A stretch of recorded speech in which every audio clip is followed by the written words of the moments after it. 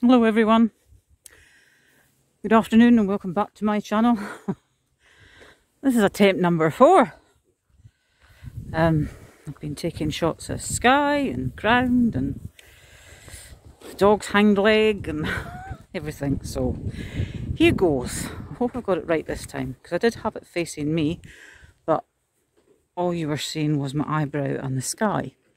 So here we go. Let's hope that this works. And I can actually see better now it's facing away from me.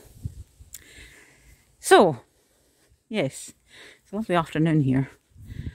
The sun's not quite broken through, but it's very, very close. Thundery, as my mum would put it. There's a thunder plump come. Anyway, I thought I would take Candy for a walk this afternoon because I was quite busy this morning. So,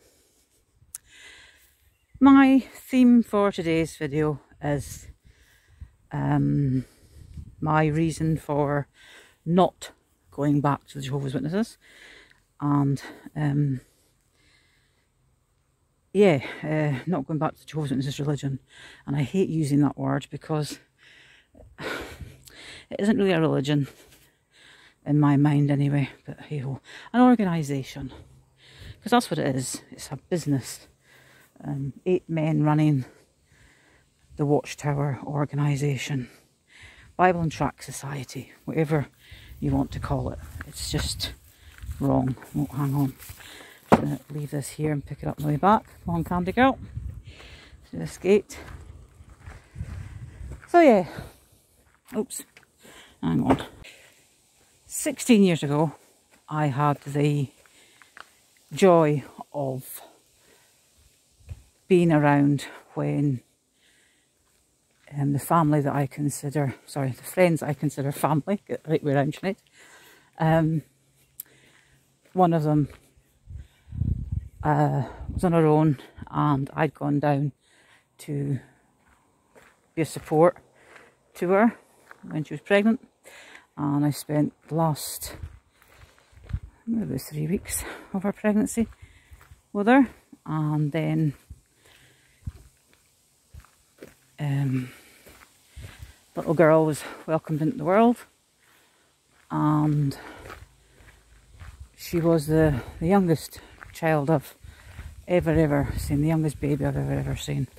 Less than 24 hours old when I met her and um, I had the pleasure of staying with her and her mum for a further two, three weeks. Um, yeah, so Amy was welcomed into the world and I came home. I was quite sad to come home, really. Um, but anyway, um, so that explains a little bit about who they are and that. There's a family I consider family. They're not blood, but they were the ones that taught me about Christmas and taught me about birthdays and just went against everything that Jehovah's Witnesses had taught me. You know, the world of people were bad and evil and Satan directed and everything, and this family wasn't and isn't, and I'm delighted that I'm still part of their their little group. so yeah, five years ago, um, I got a text about um, the said little girl who was 11 at the time. And um, she wasn't well. She was in hospital. They didn't know what was wrong with her. And, uh, sorry, I'm doing an about turn because the lead got stuck. It wouldn't go back in. But here we go. Um, yeah, I got a text message to say she wasn't very well. And um, they didn't know what was wrong. And then I got a further text message from her blood auntie um, to say, you know, um, she was that they they'd moved her, they'd um, put her into an induced coma and um, helicopter transported her to the next city, to the children's hospital, um, that they felt were better equipped to uh, treat her. And I went down for a week once she'd been woken up and um, it was her auntie who met me at the train station, took me for a coffee and explained that um, she had two very rare cancers. Um, oh, just so I get the names right now. Um, peripheral T cell lymphoma and HLH, which um, is very, very long named um, cancer, but I couldn't pronounce it and I'm not even going to try. Uh, so yeah, it's HLH. But apparently these two are more common in older people, not in children. And she was the first child in Scotland um, that had both at the same time. And she was definitely a, medic a medical miracle. Um, because when she arrived at the sick kids hospital, um, her mum and auntie were told, you know, to prepare for the worst because they really didn't know if she was going to pull through. So she did, thankfully, and um, from that day forward, always with a smile. And,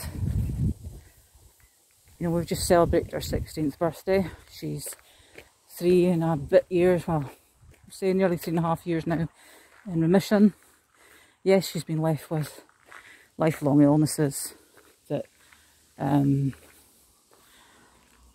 she needs medication for, but you know, she's here and um, we're just all so grateful that she's here and she's proved uh, medicine wrong. Um, the professor that was treating her actually said that, you know, he didn't know how she did it, but, you know, she was um, into the medical textbooks and things, uh, medical journal. Um, and she's just amazing. And I know she's watching this now, so um, I just want to say again that, you know, she is very, very special and very, very loved by everybody who knows her. And um, she just continues to amaze us all and make me humble. Um, every little ache and pain that I have, I think, wow, you know, she can get through all that and still smile. Never ask why me or be angry. She just went through the treatment and yeah, she just got on with it. Her courage and her strength are just boundless. And I wish I had a quarter of her um, her ability to just get on with things. Um, I think certainly her mum and her auntie and all her family gave her so much strength and empowered her taught her um, so much and I've learned so much from her. Anyway, um, at one stage when I was down to give her mum and auntie support and try to be there for them. Um, well, the second time I went down, she amazed me. She surprised me. Um, by walking down the corridor to greet me, which is a vision I'll never forget. Considering when I left about four weeks before that, she couldn't walk and they were doing exercises and stuff with her and she was having to learn to walk again. Um, so yeah, it's the last thing I expected and nobody told me that she was going to be walking down the corridor to meet me. So yes, I explained all that so that you would understand um, the next bit. So yes, it was. I think it was the second time we went down. Her mum and I were sitting in the ward waiting to go in to see her. Um, and her mum said, you know, me and we were talking and um, her and her sister were talking and and how um, they apparently had had a conversation about how if it had been me and my mum in that situation, how I wouldn't have stood a chance. I wouldn't have been treated. And it's something I hadn't thought about. So I says, well, I hadn't thought about it, but um, yeah, I suppose if my mum went by the Jehovah's Witness rules of no blood transfusions. And I think by that point, Amy had had about oh, eight or nine, maybe possibly more, um, transplants, um, blood transfusions, sorry. And um, it was later on in our treatments that they were looking at uh, cell harvesting, uh, T cell, I think, harvesting. I'm not too sure. Um, she was, yeah, she'd had several blood transfusions um, at that point that I was talking to her mum. So, um, I came, when I came home, I happened to speak to my mum about it and said, you know, if it, if it had been you and me, what do you think you would have done? I know it's a hard question, but what do you think you would have done? And she said, I would have done exactly what her mum was doing. Um, and I would have said, treat her, give her all the blood, give her all the chemo, give her all the radiotherapy, whatever it is that she needs, do it, try it, you know, save her. Um, because if I had been a witness and mum had obeyed the rules, then I wouldn't have been treated. I wouldn't have probably had the chemotherapy. And I certainly wouldn't have had blood transfusions because they believe that um, that there's bits of the blood that can be removed and bits added and um, and it can't be. And when I think of the amount of time I spent arguing with her auntie um, about how, you know, medical science and all that, and and yes, things can be done. And she kept saying, no, they can't. You can't substitute blood for blood, especially at the amounts of blood that people need, like in um, situation that they were in. So, this week, Andy.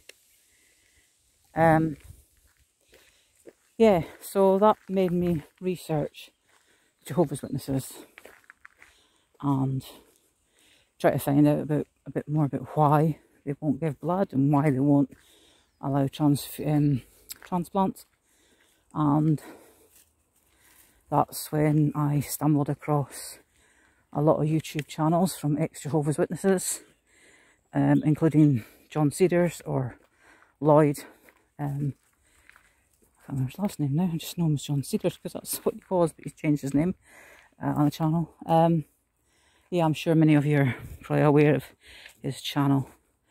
Um, and there was also a Simon and Maria channel then.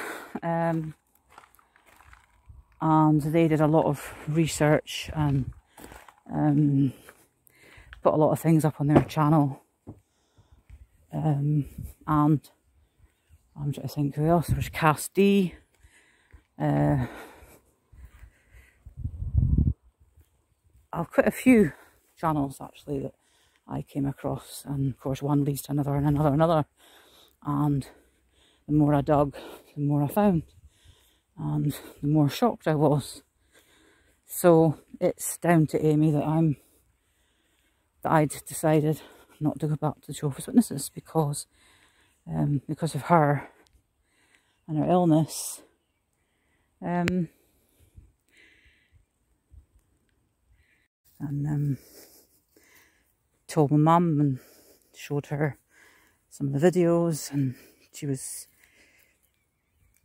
um, only half shocked um, because it turned out she said you know she'd always wondered about them. And my grandmother and uh, an uncle had always said to her, it's a cult. you know, you're, you're doing, you're, you're being, being brainwashed, you're in a cult. No, no, no, no, no, no, no, no. No, we're not, no, no. Um, was my mum's response and my dad's. Um, so yeah, proved them right too, eh? yeah, blood transfusions and amendment of the Bible. And um, I can't remember the name of it now, they have. But most of the hospitals have this in place so that um, Jehovah's Witness can't be persuaded. When I think of the amount of cases that have gone to court and a judge has ruled that yes, um, transplants and things, blood transfusions have to go ahead in order to save the person's life. So, yeah. Um, I unfortunately I'm not very good at remembering the verses and things in my Bible, but the witnesses do take out of context a lot of scriptures and uh, they twist the scriptures to suit them and what they want the scripture to mean. My brother, on the other hand, was extremely good um, memory wise and he always uh, he could keep somebody at his door for an hour, which he did many years ago. And um, for every verse they threw at him, he would throw two back uh, and found them, left them rifling through their Bible, paper Bible, uh, a rake of knots to try and prove him wrong or counteract the scripture he'd given. So, yes. Um, another video I'll do about shunning um, and how I'm being shunned even though I'm not a baptised witness. Um, and uh, yeah, hit the notification bell if you want to get notification of the next videos that I put up. Please subscribe and I hope you've enjoyed the videos. If you've any questions, do please leave comments um, and I'll answer as many questions as I possibly can. And uh, yeah, I think that's it. So I'll say cheerio for now. Take care everyone and see you all soon. Bye.